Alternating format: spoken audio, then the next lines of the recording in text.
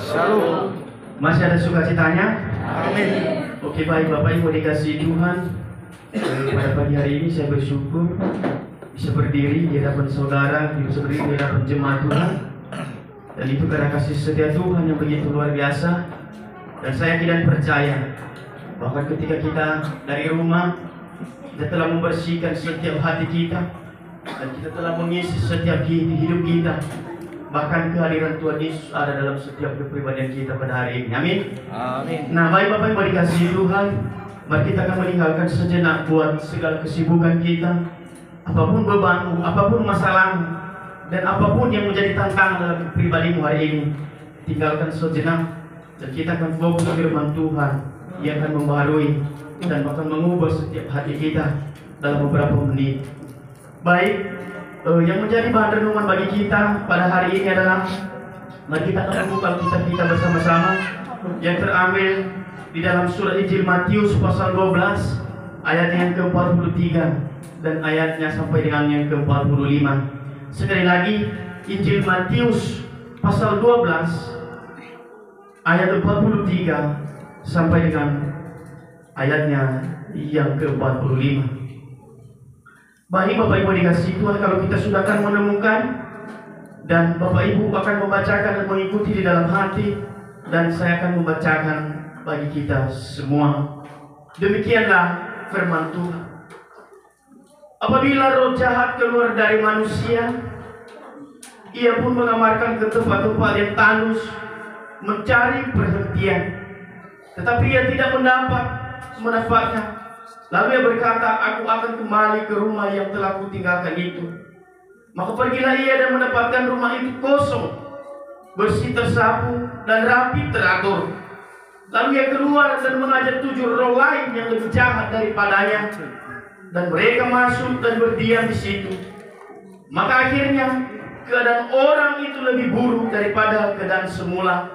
Demikianlah juga akan berlaku atas angkatan yang jahat ini. Demikian sejauh pembacaan kebenaran firman Tuhan. Yang berbahagia itu adalah kita yang selalu membaca, kita yang selalu merenungkan, dan bahkan terlebih yang melakukan firman Tuhan itu dalam kehidupan hari lepas hari. Nah, sidang jemaat Tuhan pada hari ini sesuai dengan tema kita yang telah disediakan di GKI Kasih, yaitu isilah rumah kita dengan kehadiran Tuhan Yesus.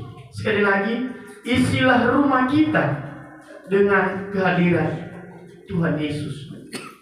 Nah, di dalam firman Tuhan kali ini bahkan sungguh mengesankan bagi setiap pribadi kita.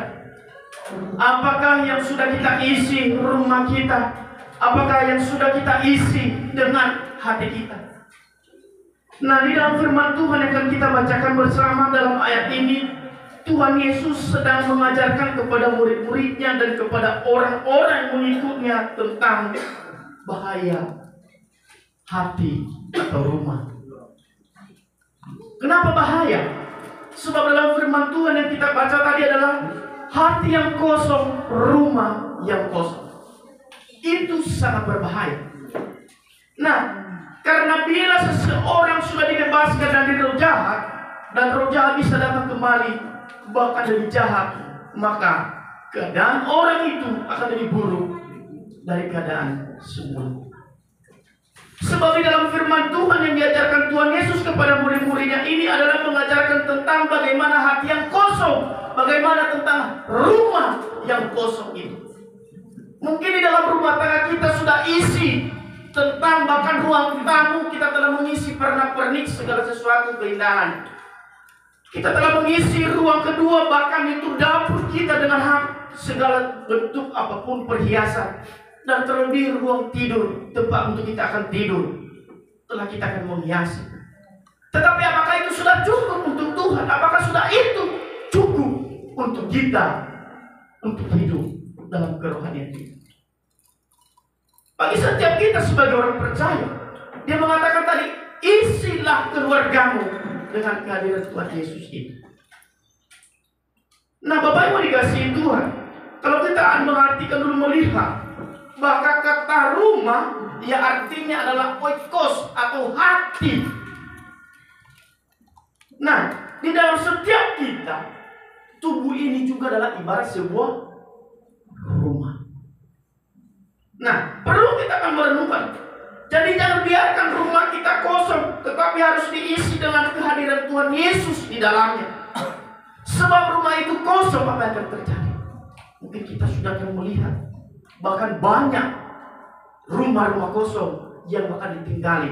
Itu secara nyata akan terjadi. Saya tidak akan kasih contoh jauh-jauh. Dulunya ada kampus kami di Kampung Pulau. Bahkan sudah tidak diisi bahkan sudah beberapa tahun.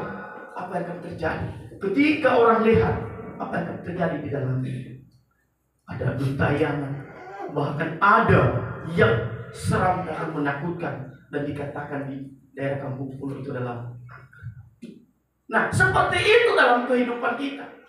Kalau membiarkan hatimu kosong, kalau membiarkan rumahmu kosong, tidak akan mengundang Yesus Kristus untuk datang di rumah tanggamu. Maka apa yang terjadi? Mudah berjuri datang, mudah iblis datang, mudah bahkan kuasa setan kegelapan datang, dan itu menyelimuti, dan itu akan mengecokmu, dan itu akan menyesatkan kehidupan. Udah tahu rumah kosong, Orang suka masuk. Orang akan melihat rumahnya kosong. Bahkan dia akan datang bercuri. Siapa bercuri? Yaitu adalah iblis. Kalau hatimu kosong, pribadimu kosong, tidak ada berisi apa-apa. Kamu hanya mengisi kepribadianmu tentang kebencian. Hanya mengisi kepribadianmu tentang bahkan keegoisan. Hanya mengisi kepribadianmu tentang sesuatu hal-hal yang duniawi. Itu tidak akan menjamin keberadaan, keberisian, hatimu seperti apa. Bapak yang dikasih Tuhan, dalam firman Tuhan kali ini, kita ada beberapa perlu yang kita perhatikan. Ada tiga kebenaran supaya rumah kita yang diisi dengan hadirat Tuhan dan kita sungguh-sungguh melakukan firman Tuhan sehingga iblis tidak memberikan kesempatan untuk masuk dalam rumah atau hati kita yang kosong itu. Ada tiga kebenaran yang membuat kita kita perhatikan bahkan kupas bersama sehingga nantinya rumahmu dan hatimu tidak akan pernah kosong dan tidak mudah diserang bahkan kuasa kegelapan kuasa si itu. Yang pertama roh-roh jahat yang biarkan kesempatan untuk menduduki kembali hati kita hidup kita atau rumah kita. Itu yang sering membuat kepribadian kita. Di dalam Matius 12 yang kita bacakan dalam 43 dia mengatakan, apabila roh jahat keluar dari manusia, ia mengembara ke tempat yang tandus mencari perhentian, tetapi ia tidak mendapatkan. Apa maksudnya di dalam ayat ke-43 ini? Ketika kita telah menerima Yesus, bahkan kita telah dibaharui oleh kebenaran firman Tuhan, bahkan telah dibaptis sekalipun, memang iblis keluar. Tetapi iblis itu tidak akan mati. Tetapi ketika dia terusir, bahkan dia akan mencari tempat-tempat yang tandus. Apa itu tempat yang tandus? Tempat-tempat yang tandus itu adalah tempat-tempat yang tidak disinggahi oleh kebenaran firman Tuhan. Tempat-tempat yang tidak disinggahi oleh bahkan kegiatan kerohanian. Itu dia. Dia akan mencari-cari, dia mencari celah dalam hatimu. Dia akan mencari celah dalam keluargamu. Bahkan ketika dia tahu udah ada celah bahkan untuk masuk, dia akan memasuki. Bahkan apa yang dia katakan tadi adalah dia dia akan membawa lagi kuasa kegelapan yang tujuh kali lipat lagi untuk masuk merasuki kepribadian. Hati-hati. Nah, di dalam jangan kamu biarkan sama sekali Mungkin kamu mengatakan dalam rumah tanggamu, saya hidup di dalam kekristenan. Saya hidup di dalam Tuhan. Setiap hari Minggu, saya datang ke gereja. Saya datang berkebaktian. Tetapi kalau kamu tidak menghiasi, tidak menghidupi dengan kebenaran firman Tuhan, hatimu, keluargamu, mudah akan masuk kuasa kegelapan itu. Ya, itu yang pertama. Jangan biarkan menduduki kembali hati kita, hidup kita, atau rumah kita. Kalau dia yang menduduki lagi kuasa kegelapan itu, maka itu akan hancur. Nah, bagi setiap kita. Nah, roh-roh jahat yang diusir keluar dari manusia tidak akan mati Bapak Ibu. Tidak akan mati. Tetapi dia akan mencari, bahkan mencari terus siapa yang bisa akan dia singgahi dan untuk dia akan terbalik. Kita akan merenungkan. Sebab di dalam satu Petrus pasal 5 ayat 8 mengatakan, Sadarlah dan berjaga-jagalah lawan iblis, berjalan keliling sama seperti singa yang mengaum-ngaum dan mencari orang-orang yang dapat ditelan. Mau ditelan sama si iblis, tahu singa? Dia makan, dia buas. Anda habis dan Anda hancur. Jangan isi rumah tanggamu dengan pernak-pernik segala sesuatu. Jangan Anda senang. Jangan isi hatimu bahkan dengan segala bentuk apa pun yang dari dunia ini. Anda mudah dirasuki akan masuk dalam kuasa kegelapan. Mungkin kalau contohnya kamu mereka-reka kehidupanmu, ah begini keadaan saya ke depan, ketika tidak akan terwujud dengan hal dunia yang kamu pikirkan, maka bisa kamu melalui jalan yang pintas. Dan bahkan itu cara iblis mengecokmu. Dan itu cara iblis bahkan melakukan, bahkan bekerja dalam hati. Nah, tapi kalau firman Tuhan yang kekal, kalau kebenaran Tuhan yang ada, itu tidak akan mudah dan tidak akan tergoyahkan. Amin. Nah, itu yang pertama. Nah, jangan beri kesempatan sedikit pun, Bapak. Ya, jangan beri kesempatan. Sebab coba kalau rumah yang kosong dibersihkan lagi. Nah, ketika dimasuki lagi, ketika bahkan itu tambah parah, bahkan hancurnya Seperti itu Tuhan Yesus mengumpamakan bagi orang-orang Farisi, bahkan orang Saduki pada waktu itu, ketika tidak diterima keberadaan Yesus dan bahkan pengajarannya pada waktu itu. Nah, itu yang pertama. Jangan biarkan sama sekali yang kedua yang perlu kita pelajari lagi yaitu hidup kita harus diisi oleh kehadiran Tuhan Yesus dan firman-Nya. Nah, seperti ini. Sesuai dengan tema kita. Isi keluargamu dengan kehadiran Tuhan.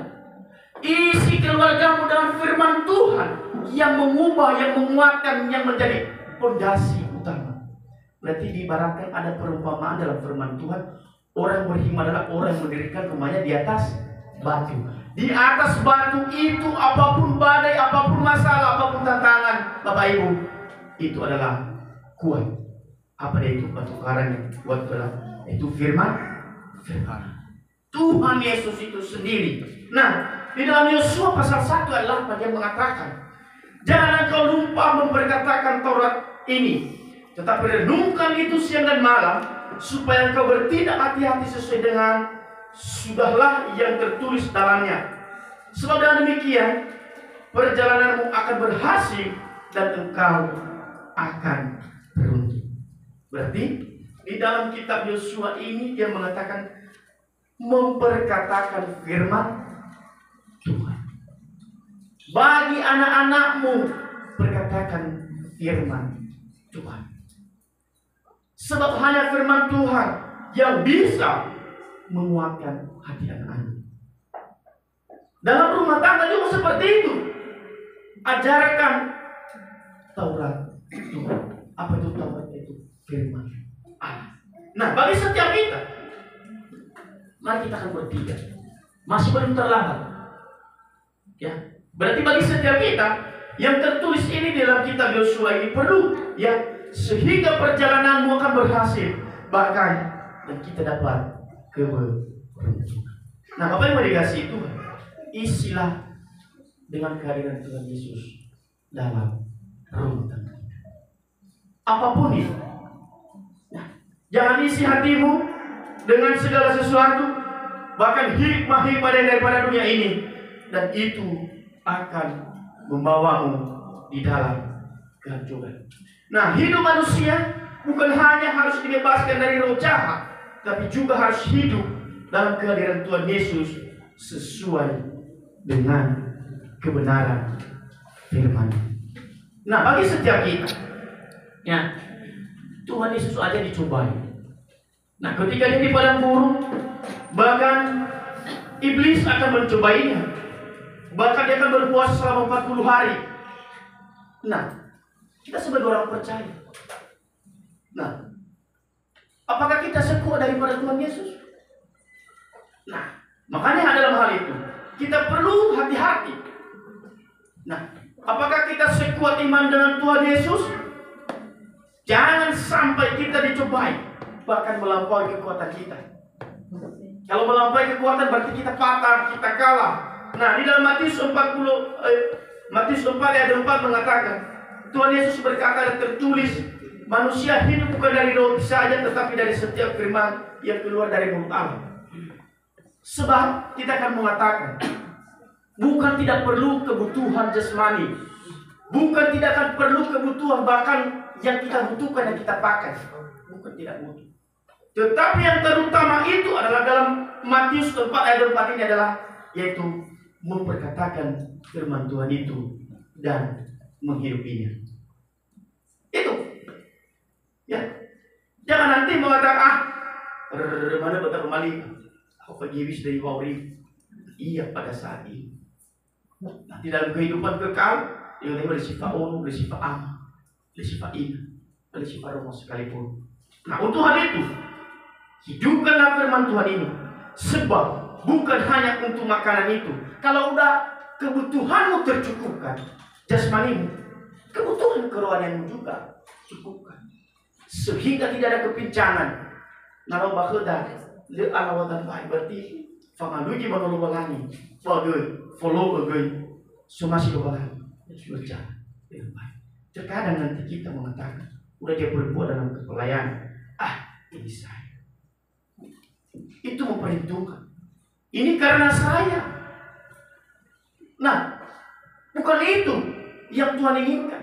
Dalam setiap kepelayananmu, jadikan dalam kepribadianmu mengambil kepelayanan itu bukan untuk manusia yang kamu melakukannya, tetapi untuk kemuliaan Tuhan. Sekarang kita akan melihat ada mencari keuntungan. Ada kamu mencari keuntungan dalam pelayanan Tuhan? No. Ya. Terkadang juga nantinya Udah ditegur sekali bahkan ah hari ini tidak benar tidak ada keuntunganmu secara kemanusiaan karena tidak ada gajimu. Kalau ada kamu mencari keuntungan, berusaha. Sebab kalau keuntungan yang akan kita cari, berusaha dan mencari pekerjaan lain yang upahnya besar di kantoran bahkan banyak di Pertamina sekalipun itu. Tetapi kalau bagi Tuhan tidak ada. Ya. Kalau contohnya kita dengar sekali khotbah di luar berapa? 30 juta. Di, transfer dulu baru di khotbah. Nah, gitu. Nah, bagi kita Bapak Ibu.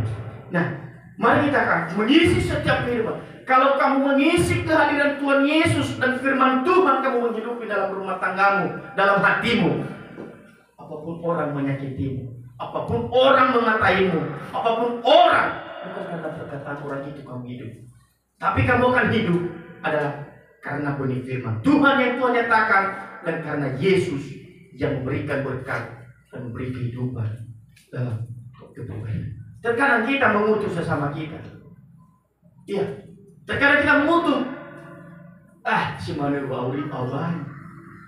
Anak. Lalu kita rubah lagi. Nah. Bagi setiap kita, jauhkan hal demikian. Jadi, Penting sekali untuk mengisi kehidupan kita setelah kita menerima Tuhan Yesus. Bahkan mengikuti bahkan setiap persekutuan persekutuan. Itu hanya satu cara itu mengisi untuk kehidupan kita. Jangan malas dalam hal beribadah kepada Tuhan. Isi hatimu dengan ibadah komisi ibadah sektor, ibadah tengah minggu, bahkan ibadah ibadah yang membuat kerohanianmu untuk bisa kembali kembali. Hanya lewat itu. Isi dia dengan hal itu. Nanti dikatakan ah, ibadah-ibadah terus. Hari Senin ibadah komisi pria. Waduh. Ibadah komisi perempuan. Kayaknya sudah bosan deh dia itu. Benar kan? Habis itu dikatakan hari Kamis lagi kebaktian tengah minggu. Kayak udah bosan dia ada ketemu dengan Tuhan. Kenapa bisa terjadi kebosanan seperti itu? Karena apa? Karena tadinya yang dinilai adalah nilai ke kemanusiaan. Benar. Kalau kamu isi dia dengan Yesus Kristus, kalau kamu isi dia dengan firman Tuhan,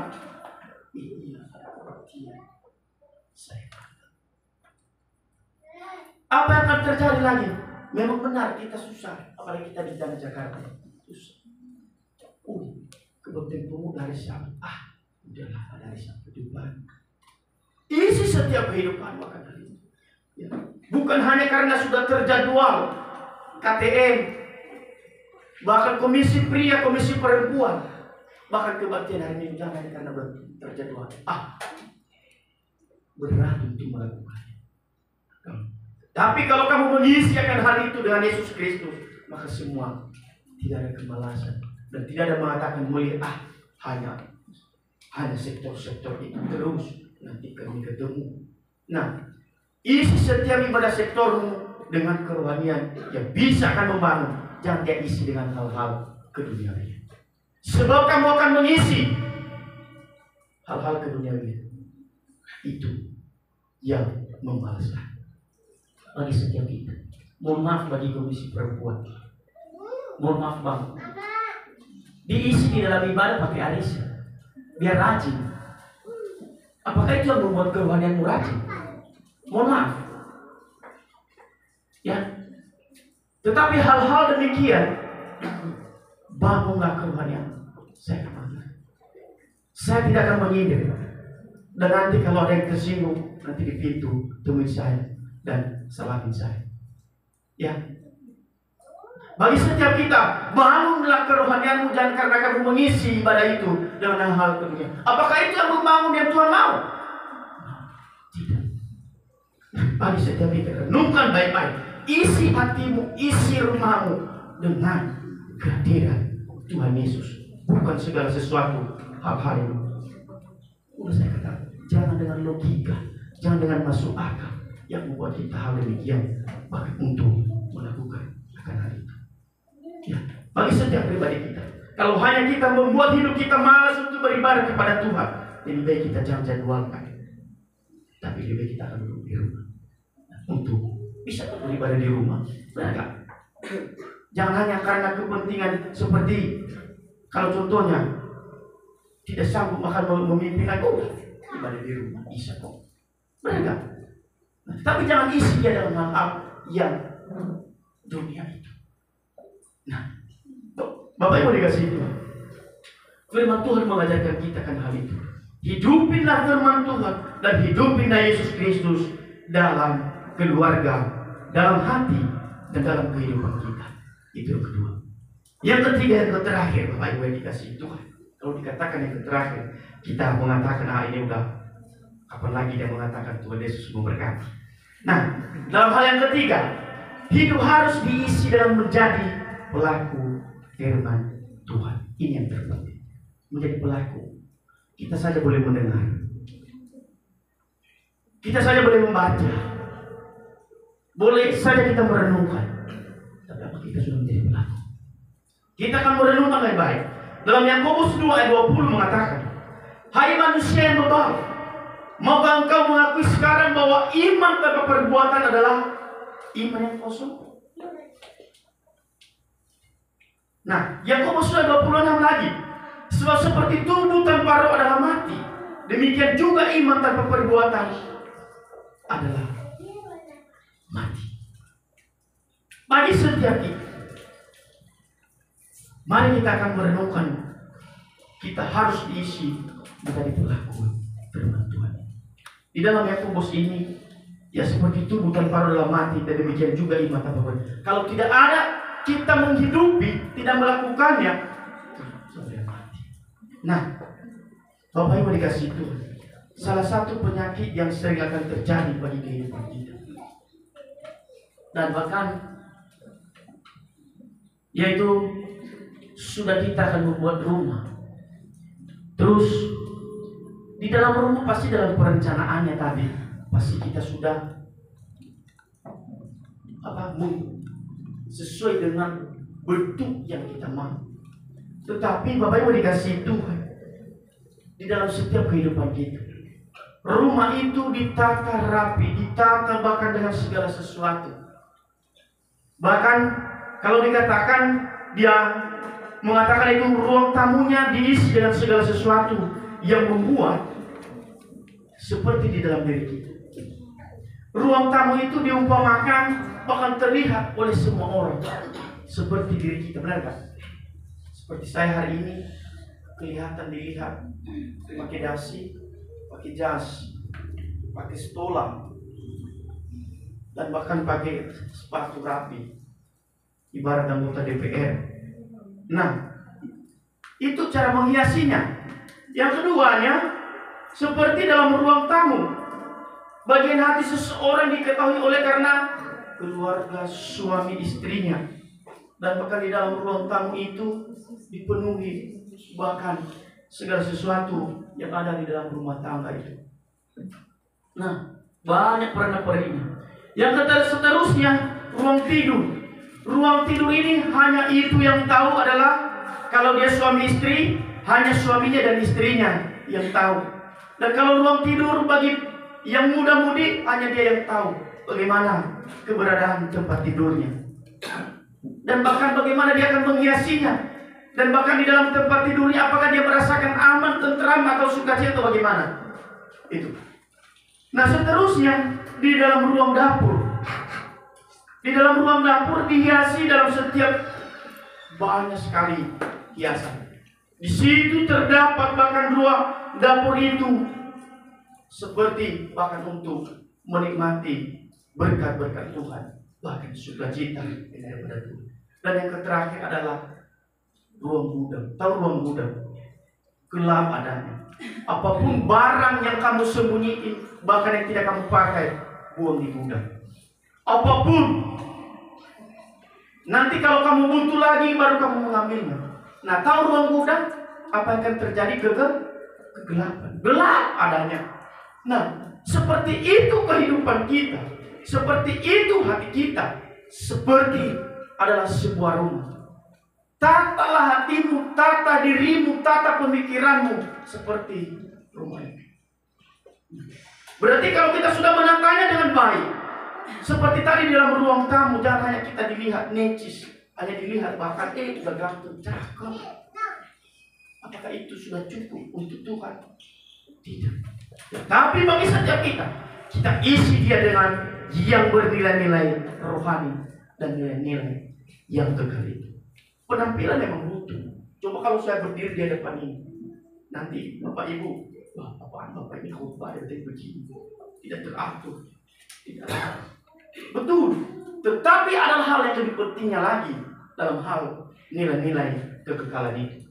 Bagi setiap kita, saya tidak percaya. Saya ya nilai-nilai yang kekal, nilai-nilai yang kerohanian itu, itulah yang perlu kita akan isi hati dan rumah tangga kita. Jangan biarkan iblis mengecokmu. Jangan biarkan segala sesuatu bahkan menghancurkanmu yang hal-hal keduniawian ini. Nah, di dalam firman Tuhan bagi kita hari ini, saya kira percaya bagi setiap kita, kita akan mengisi rumah kita dengan kehadiran Tuhan Yesus dan karena itu membawa damai, yang membawa sukacita dan yang membawa berkat, berkat kerohanian yang sungguh luar biasa. Kita akan menikmatinya bersama. Bapak Ibu dikasih Tuhan. Di dalam firman Tuhan kali ini, mungkin ada yang tersentuh, mungkin ada yang menyentuh bahkan setiap pemikiran kita pada kita.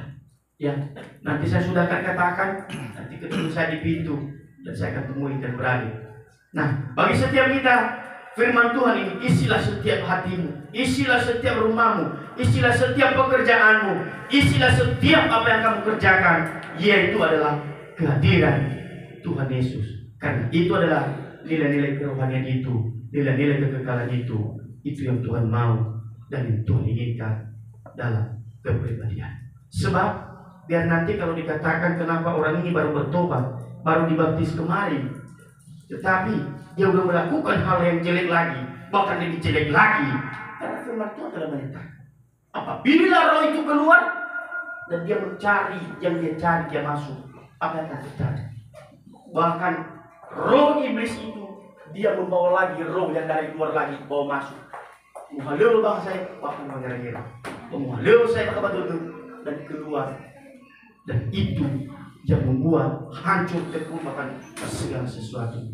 Nah, Bapak Ibu dikasih, jangan dibiarkan, jangan biarkan iblis masuk dalam hati. Kebanyakan orang mengatakan, ah, dia mengeraskan hatinya. Bahkan mau berdebat pun dan sekalipun dengan bantuan dia berani dia makanya dengan ide-idenya sendiri dan gagasannya sendiri. Tetapi nantinya itu adalah orang itu tadi tanda yang tandus yang iblis cari karena firman Tuhan tidak hidup di dalam hati orang tersebut. Itu tanda tandus. Itu tanda tandus yang dicari oleh iblis itu. Nah bagi setiap kita, jadikanlah hidupmu hiasi dengan firman Tuhan dan jadikanlah pelaku pelaku kebenaran firman Tuhan. Bapak Ibu dikasih dalam hari ini adalah sekali lagi isilah rumah kita dengan kehadiran Tuhan Yesus. Jangan dengan nilai-nilai keduniawian.